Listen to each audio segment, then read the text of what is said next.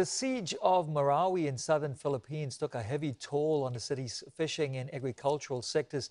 The impact continues to be felt a year after troops took back the city. Channel News Asia's Manila team visited the city recently to give us this report. The siege in Marawi destroyed not just homes, but also the heart of its fisheries and agricultural sector. It's made it difficult for the city to produce its own food.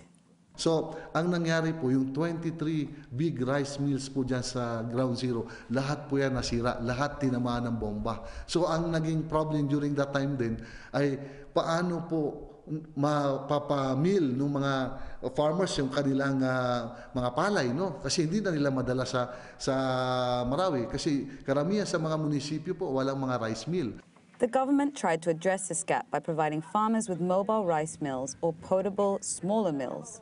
But the problem also extends to other areas, such as a lack of storage for agricultural goods. Minsan nasisira na. Kung hindi na mabinta doon, talagang kuan.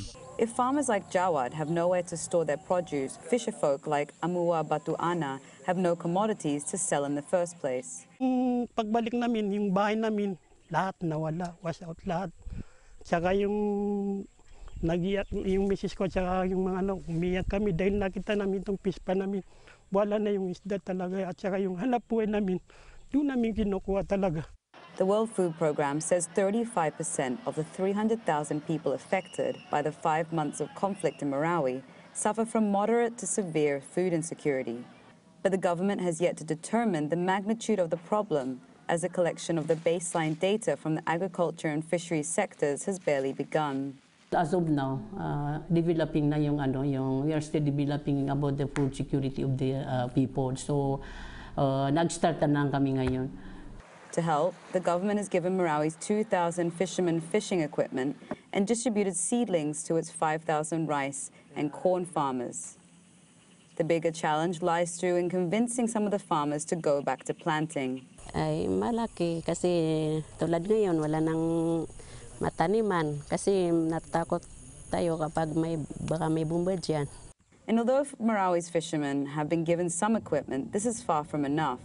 Uh, usually, na binibigay, kung nabibigyan sila ng one unit per fisherman, what is one unit?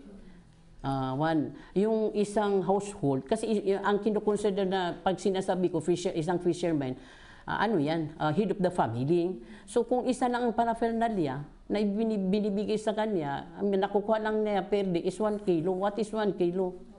Only 100, 100 pesos eh. So hindi pa yan sapat sa isang ganta na rice. Before the siege, Marawi was able to produce not just food for its people, but for the whole province of Lanao del Sur. But today, impaired infrastructure and fears over safety are impeding efforts to fortify the city's food basket. It's a multi-layered problem that must be unpacked soon, as the survivors of the siege cannot move forward on empty stomachs. ILO Channel News Asia, Marawi.